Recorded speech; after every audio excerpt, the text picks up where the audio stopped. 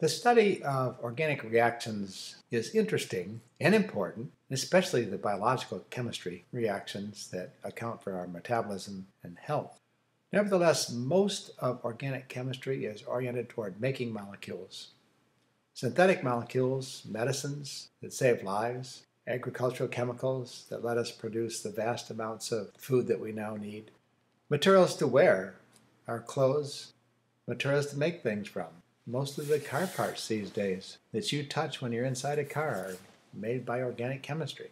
Kevlar, body armor. So the fact is that the application of organic reactions to make new molecules, important molecules for our lives, is a major challenge, and most of organic chemistry is applied in that area.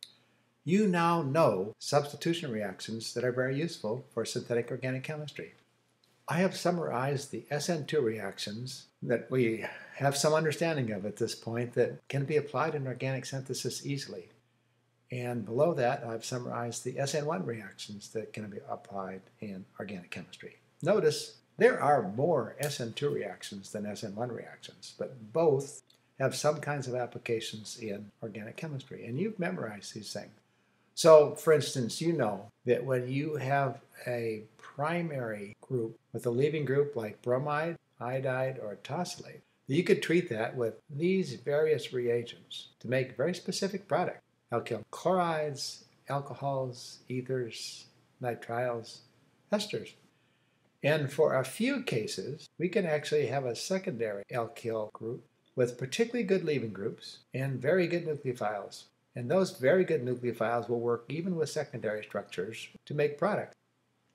By the same token, we know that if we have a tertiary alcohol, that will react in SN1 chemistry, and under certain conditions, like treatment uh, with hydrogen halide, you can get useful yields of compounds we'd like to have, tertiary alkyl halide.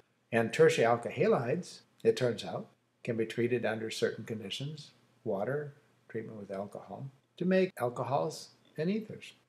So here's a summary of the reaction facts we know. And we memorize these things by saying if we start with this and treat with these reagents, we get these compounds. And your task is to memorize all this stuff. But memorizing these reactions is a bit like memorizing the vocabulary of a foreign language. You need to do it, but it isn't enough. We don't just spit out words when we're speaking a language, we have to put them together in reasonable ways. And we don't just spit out organic reaction facts when we're applying organic chemistry. We use those reaction facts in very specific ways to indicate how we could make molecules. Let me give you a couple of examples to illustrate uh, the uh, likely application of these reactions in organic synthesis. Suppose your task is to make the molecule I'm drawing here, and you can make this from whatever you want. You notice that here's the functional group, and that this OCH3 is attached to a primary carbon. We know that we can start with a primary alkyl halide or tosylate.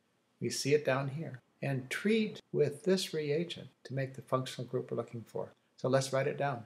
We can make this molecule from this structure. And for a leaving group, we can pick bromine, iodine, or tosylate. We get our choice. Let's pick bromine. And we need to treat that with sodium and alkoxide that gives us the right R group here. So we need a CH3, so we're going to pick sodium OCH3. And now we have outlined a reaction that makes what we want. In terms of synthetic planning, we do this a little differently. We consider this molecule we want to make as a target. And we use this symbol to mean could come from.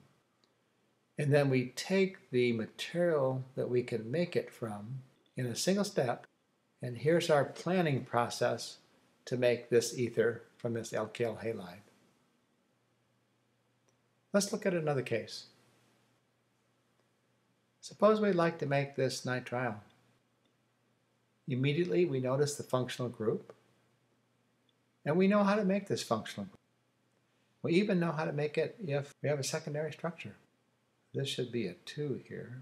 This should be a 2 here. So as we see from our chemistry down here, for secondary alkyl structures, this is secondary. It works. The reaction we want to use is treating a five-membered ring that has a very good leaving group. Let's say we'll pick tosylate this time with sodium cyanide. And in terms of viewing this as the target for planning purposes and saying that this could come from, we will write our planning like this. And again, you'll notice that we've left out the reagents. We know them, but in, in terms of planning purposes, we'll indicate the target and what it could come from. Let's take a look at another case or two. Suppose we want to make this structure.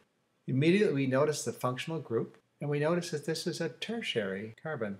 We know that if we're going to use a substitution reaction, it cannot be an SN2 reaction because it's at a tertiary carbon, but it can be an SN1 reaction. So let's write it down. We look at this tertiary alcohol, the compound we want to make. We look at the SN1 chemistry we have available, and we notice that tertiary alcohols can be made from tertiary halides, chloride, bromide, or iodide. So that's what we need to draw here. Where we want the OH, we need to put a halide. Let's put chloride. And we see that if we want to make that compound, we treat the chloride with water. Now again, for synthesis purposes and planning, this is a target molecule. And it could come from, as we've just outlined, this chloride. So for synthetic planning purposes, here's what we write down. This target molecule, a tertiary alcohol, could come from the starting material, a tertiary chloride. Well, let's look at one more. Suppose we wanted to make a tertiary bromide. Our eye immediately goes to the functional group we need to make. It's a bromide. We notice right away that this is on a tertiary carbon. We recall that we can make tertiary bromides using SN1 chemistry. Here it is. It's with an alcohol. There's our OH. And we'll treat it with the correct hydrogen halide, in this case bromide. So we use HBr. here's our alcohol. We need a bromide, so we use HBr. And there's the reaction we'll use. For planning purposes, we'll think of it as a tertiary alkyl bromide as the target, and the material we can use to make it is this guy. And so our answer regarding how to make that molecule is here in the box.